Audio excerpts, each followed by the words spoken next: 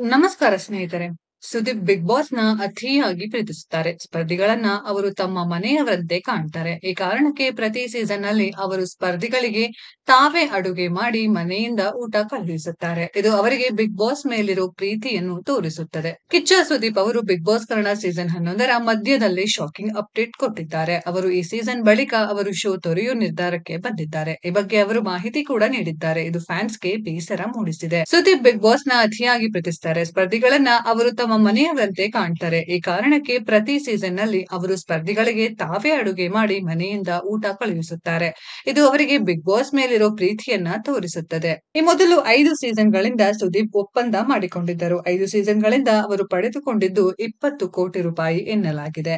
ಅಂದರೆ ಪ್ರತಿ ಸೀಸನ್ಗೆ ಅವರು ನಾಲ್ಕು ಕೋಟಿ ರೂಪಾಯಿ ಪಡೆದಂತೆ ಆಗುತ್ತದೆ. ಬಿಗ್ ಬಾಸ್ ಕನ್ನಡ ಸೀಸನ್ ಹನ್ನೊಂದಕ್ಕಾಗಿ ಸುದೀಪ್ ಅವರು ಎಂಟು ಕೋಟಿ ರೂಪಾಯಿ ಪಡೆದಿದ್ದಾರೆ ಎಂದು ವರದಿಯಾಗಿದೆ. ಈ ಬಗ್ಗೆ ಸುದೀಪ್ ಕಡೆಯಿಂದಾಗಲಿ ಕಲರ್ಸ್ ವಾಹಿನಿಯ ಕಡೆಯಿಂದಾಗಲಿ ಯಾವುದೇ ಅಧಿಕೃತ ಘೋಷಣೆ ಆಗಿಲ್ಲ. ಸುದೀಪ್ ಅವರ ಖಡಕ್ ನಿರೂಪಣೆ ಇಷ್ಟ ಆಗುತ್ತದೆ. ಅವರಿಂದಲೇ ಶೋನ ಟಿಆರ್ಪಿ ಕೂಡ ಹೆಚ್ಚಿದೆ. ಈಗ ಅವರು ಇಲ್ಲ ಎಂದರೆ ಶೋನ ವರ್ಚಸ್ಸು ಕಡಿಮೆ ಆಗುವ ಭಯ ಶುರುವಾಗಿದೆ. ಸ್ನೇಹಿತರೆ ಸುದೀಪ್ ಅವರ ನಿರೂಪಣೆ ಹೇಗಿದೆ? ನಿಮ್ಗೆಲ್ಲ ಹೆಂಗ್ ಅನ್ಸುತ್ತೆ ಅನ್ನೋದನ್ನ ಕಾಮೆಂಟ್ ಬಾಕ್ಸ್ ಅಲ್ಲಿ ಕಮೆಂಟ್ ಮಾಡಿ.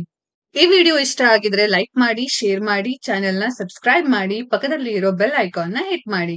ಮುಂದಿನ ವಿಡಿಯೋದಲ್ಲಿ ಭೇಟಿಯಾಗೋಣ. ಧನ್ಯವಾದಗಳು.